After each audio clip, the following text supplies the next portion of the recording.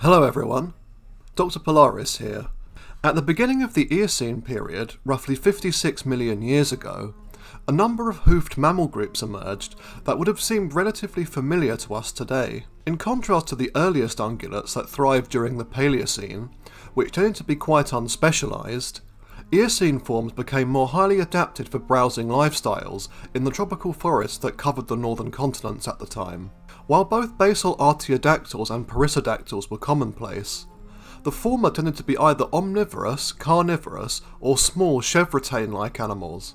The odd-toed perissodactyls, on the other hand, appear to have developed stricter herbivory at an early stage in their evolution, lacking any predatory forms comparable to the mesonychids or the bear-like arctocyonids. The most basal known perissodactyls are animals such as the phenacodontids, which first appeared during the Paleocene in North America approximately 61 million years ago. Equipped with long, low skulls, heavy tails, and five-toed feet, Phenacodontids would not have closely resembled modern horses, rhinos, and tapirs if we were to observe them in life. However, several important perissodactyl traits were present in the group, such as specialised shearing molars, elongated limbs, and the reduction of the first and fifth toes. Early forms were small animals, no bigger than a domestic cat, although the group grew larger as time passed. The genus Meniscotherium from Eocene North America was about the size of a small dog, weighing up to 17 kilograms or 37 pounds, and appears to have lived in social groups. The largest member of the family was the incredibly successful genus Phenacodus, which was comparable to a sheep in terms of size. Known from 11 species that range from the late Paleocene to the Middle Eocene, this animal possessed hoofed digits and a subsequent cursorial lifestyle, while also retaining basal traits such as a long heavy tail and prominent canines, most likely used for intraspecific combat. Phenacodus supported its weight on enlarged middle digits, aided by the toes on either side, forming the typical odd-toed foot structure that would be inherited by all more derived perissodactyls. Ancestral forms such as these would give rise to the more familiar modern clades of Tapiroidea, Rhinocerotoidea, and, most importantly for this video, the hippomorphs. This is the group to which horses belong, although during the Eocene this clade was far more diverse, coming in all shapes and sizes. Recent studies have shown that the Hyopsodontids, also known as the tube sheep, were basal members of Hippomorpha due to the structure of their inner ears being very similar to those of early horses. Hyopsodontids were generally small animals and were very unspecialised in both appearance and lifestyle, probably resembling the common ancestors of all perissodactyls. They would not have resembled their closest modern relatives at all, appearing more similar to civets, hyraxes, or large rats, with some genera such as the European Paschatherium being capable climbers. The most well-known member of this family was the abundant Hyopsodus, which was native to Eurasia and North America during the Eocene. Remains of this animal comprise up to 30% of fossil remains at some North American sites, indicating that Hyopsodus was very common in such ecosystems. Many different species of this genus have been discovered, ranging from rat to cat-sized, although most remains consist of teeth and isolated jawbones. With an elongated but arched spine, Hyopsodus would have resembled a modern hyrax or guinea pig, and, like these animals, was largely terrestrial, scampering about on the forest floor. Its teeth suggested it was a generalist omnivore, probably mainly eating a mixture of vegetation, fruits, seeds, insects, and the occasional smaller animal. And while its limbs were proportionally short, it was likely still quite an agile, fast-moving animal. It also appears to have had some ability to dig, and may have sheltered in burrows similar to modern groundhogs. Specialised features of the skull also suggest that Hyopsodus possessed a rudimentary form of echolocation, similar to modern shrews, which would have helped it find its way in dark and cluttered environments. All later hippomorphs probably evolved from forms similar to this, which became increasingly adapted to herbivory and terrestrial habits. By the beginning of the Eocene, more derived hippomorphs began to diversify, developing from forest-dwelling ancestors the size of small dogs.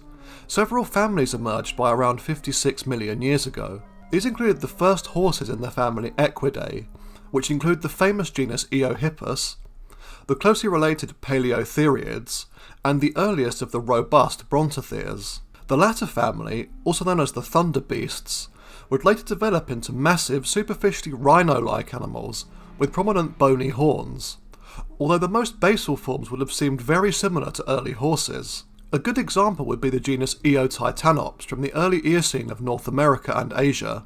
Standing about one and a half feet tall at the shoulder and resembling a trunkless tapir, this animal lacked the trademark horns of its later relatives. Its teeth were low crowned, being adapted for feeding on leaves and soft vegetation. The similarly basal Lambdotherium was even smaller, being about the size of a Scottish terrier, and would have lived somewhat like a chevrotain or forest antelope.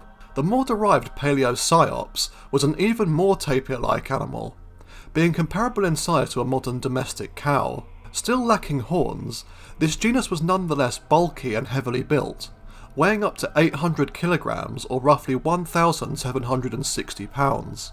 Typical of most basal brontotheres, Palaeosyops possessed enlarged canine teeth, which would have been utilised for defence against predators and in intraspecific competition. Some Middle Eocene brontotheres, such as the genus Sphenocoelus, developed greatly elongated skulls, which suggest a selective browsing ecological niche. When compared to their close perissodactyl relatives, the brontotheres were often substantially larger than the early horses, rhinos, and tapirs that lived alongside them. Indeed, the thunder beasts inhabited niches taken in modern times by rhinos, tapirs, and elephants while the ancestors of these animals were still relatively small during the Eocene. The most derived brontotheres were all massive animals, being among the largest terrestrial animals on Earth during the second half of the Eocene. They tended to resemble modern rhinos in appearance, although their nasal horns were formed from bone instead of keratin. Males tended to possess larger horns than the females, suggesting that these animals were social and gregarious, with adults competing for females in ritualized combat. An exception to this rule was the genus Embolotherium, which was native to Mongolia during the late Eocene. Standing roughly 8 feet tall at the shoulder and weighing in at 2.8 tons, this huge beast had a wedge-shaped bony protuberance at the nose that was the same size in both males and females. The wedge was hollow and connected to the nasal passages, which suggests that the structure was used for species recognition or as a resonating chamber. The largest of all brontotheres was a North American genus Megacerops, which is known from multiple well-preserved specimens recovered from the Great Plains region of the United States. Although superficially resembling a modern rhino, this animal was substantially larger, being comparable to an African forest elephant in terms of size. Standing 8 feet 2 inches tall at the shoulder and weighing up to 3.8 tons, Megacerops would have been the most massive animal in its environment. All of the species had a pair of blunt horns on the snout, the size varying between the species with the horns of males being much larger than those of females. This could indicate that they were social animals which butted heads for breeding privileges. The skeleton of an adult male was found with partially healed rib fractures, which supports the theory that males used their horns to fight each other. No other creature living in Megacerops' time and environment, except another Megacerops, could have inflicted such an injury. The adults may have also used their horns to defend themselves and their calves from predators, such as hyenodonts, entelodonts, bathornis, or nimravids. The shape of its teeth suggested it preferred food such as soft stems and leaves, rather than tough vegetation. It may also have had fleshy lips and a long tongue for carefully selecting food. Despite their success during the Eocene, Brontotheres became rapidly extinct at the end of the period, approximately 34 million years ago. This was probably due to being unable to adapt to the drier and more open environments that developed during the latest Eocene. All Brontotheres were adapted to feeding on soft leaves and vegetation, and were probably not able to handle tougher plant material, particularly grasses. In addition, the Eocene-Oligocene transition led to the reduction of tropical and subtropical forests across the northern hemisphere to be replaced by more open savanna woodland, reducing the amount of suitable foodstuffs for these massive animals. In contrast, the previously modest horses and rhinos thrived during the Oligocene, with the latter moving into the niches vacated by the Brontotheres even producing far larger herbivores in the form of Paraceratherium and relatives.